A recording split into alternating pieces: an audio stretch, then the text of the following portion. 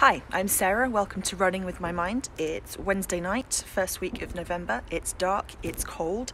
Um, I am in my first week of being fully vegan, and that's what I'm going to talk to you about this week. The um, the ups and the downs, all the truths about it, the bits they don't warn you about. Um, I'm on my way to Wednesday night run together group. I am dressed like a total running wanker this evening. I have a reflective headband on over my visor. I've got gloves and thumb holes, London Marathon reject top. I'm fully running wankered up, and I'm a grunk, grumpy, hangry, uh, cheese detox crazy vegan as well now. So I guess I'm a grumpy vegan Uber running wanker. Take that, society. This should be fun.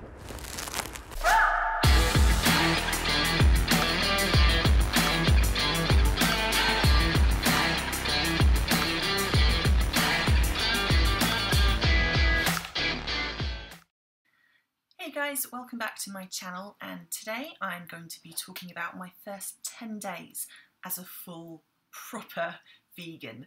Um, so if you don't know me, I've been vegetarian for the last year and a half and I felt some physical improvement from that. Um, but I've still had quite a lot of health issues recently. Um, I do struggle with inflammation, regular muscle pulls, knots, um, migraines, lots of stiffness and tension, anxiety, lots of mental health stuff as well.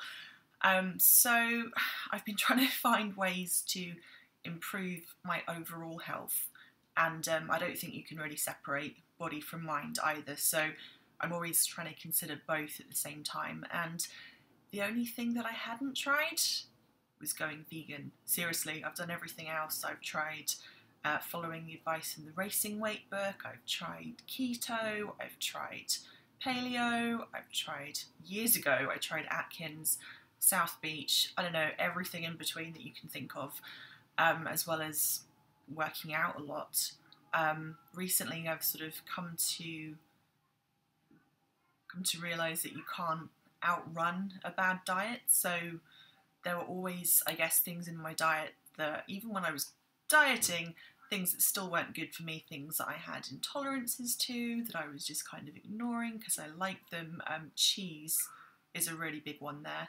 So eventually, uh, at the age of almost 38, I think I've had a word with myself and eventually realised that I can't keep ignoring my gut, uh, which means two things. One, my gut intuition that I kind of knew I needed to give up dairy, and two, my gut in the sense that I was always struggling with GI issues. And there was nothing left in my diet. You know, I tried eliminating everything else. The sun's just come out in the middle of recording this, and now I'm all bright. Uh, sorry about that.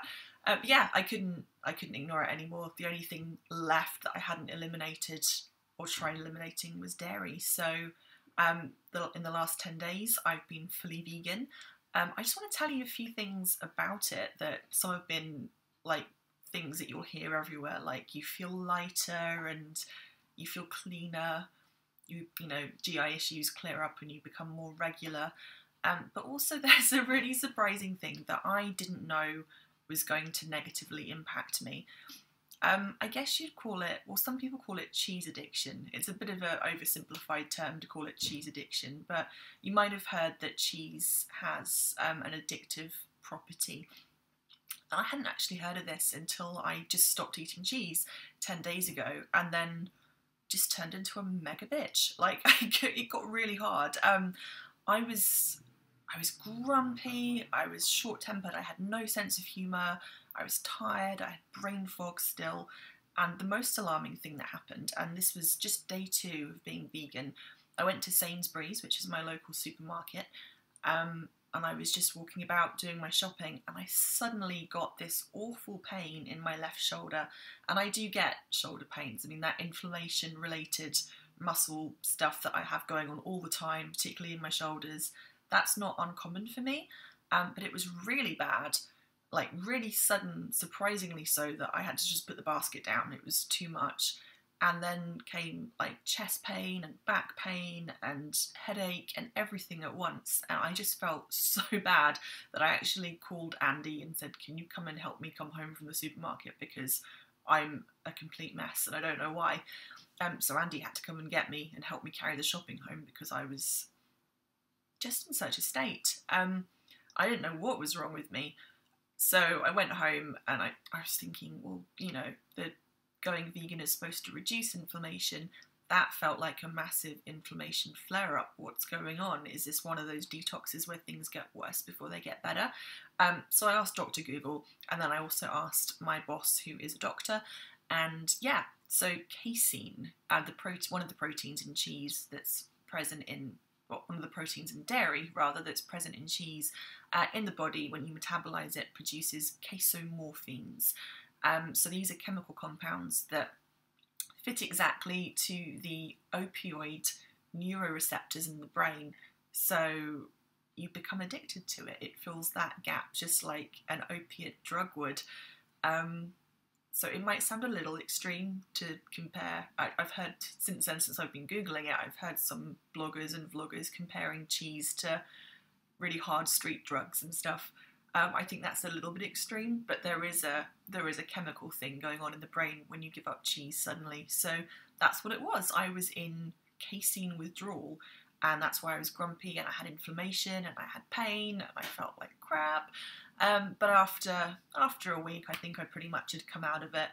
Um, so it's day. I'm halfway through day 11 now of being vegan. I've been training wise. I've been for a couple of runs. I went to my usual Wednesday night run club, and I was a bit nervous about that because, well, as you saw in the introduction, I was worried that I'd have no energy and I'd be hungry because I'm only just settling into my vegan diet and I haven't quite found the right, you know, what's the right amount of food, what's the right mix of different protein sources, what does my body want. So I'm still figuring that out. So I was worried I'd be hungry and grumpy and have a sense of humour failure in the middle of our interval session, um, but it was fine. I got all the way through it starving when I got home, but I, I finished and it was fine. Um, Saturday went for my usual group run with my local running club and then went to the gym afterwards and just did a quick 30 minute core class with with a group there starving afterwards i went round the corner out of the gym round the corner into holland and barrett and just grabbed all the vegan treats i could find and just stuffed a load of bad junk vegan food in my face because I was so hungry. So, yeah, still figuring out the nutrition, still settling into it. Um, I'm trying not to go too extreme and go from eating the slightly junky, averagey diet that I had before into Scott Jurek's meal plan. Like, I'm not quite ready for that much fibre. I think I would give myself really bad GI issues if I went from middle of the road diet to extreme plant based, whole food, crazy full on health food, and it might it might be a bit of bit too much of an adjustment. So I'm going gradually. I'm at the moment I'm still letting myself have treats as long as they're vegan. So lots of those um, peanut butter cups that you can find in Holland and Barrett, um, Ella's Kitchen stuff. Uh, oh, those are all really good. Vegan chocolate is really good. I was really pleasantly surprised. Um, vegan cheese, I'm not so in love with there's got there's less flavour and the texture's a bit strange. But um, yeah, but it's not bad. It's really not bad. Iggy's come to join us here. Just see her here, hiding in the corner. So overall, I feel like um, moving to vegan has been a really good thing to try. Um, I'm yeah, I'm saying try, and people keep asking me, "Is this permanent? Are you vegan now?" Um, I feel like probably. Um, I want to give it a really good go for a few months and see how I feel. Um, I'm not 100% married to it yet. I want to make sure that this is the right thing to do for me and for my nutrition and for my health. Um, but I suspect it is. I hope it is because I feel like I've tried everything else already. But I suspect this is going to be the right thing for me um, because I'm already feeling improvement. Now that I'm over the first few days, which were a bit bumpy, um, I feel lighter in myself. I feel cleaner. Um, I did in the first few days feel like like stuff was leaving my body. I felt like I was having a detox. Um, without being graphic, um, I was taking more frequent trips to the bathroom. Um, when I slept overnight, I must have been excreting the ick because I wake up in the morning the first few days with really greasy skin. I felt like I'd been like sort of excreting stuff through my pores. Bit gross, but That's you know that's honestly what was happening. Um, that stage is past now. I'm feeling a lot cleaner in general. Um, also, I had this really good dream on the eighth night of veganism. I dreamt that I was flying, and it was. And it wasn't quite a lucid dream in the sense that I didn't know I was dreaming and I wasn't controlling it, but it was a really cool dream, and I woke up like, wow, I was flying. Um, so that's good. So yeah, don't know that's vegan related, but I like to think it was. that is a very naughty cat on the TV pointing the wrong way. She's not meant to be up there. I'm gonna have to deal with that. Iggy, get down. Get down, Iggs. Get down, Iggy. So not only did she stand on the TV, but she just switched it on with her bum. It's pretty talented.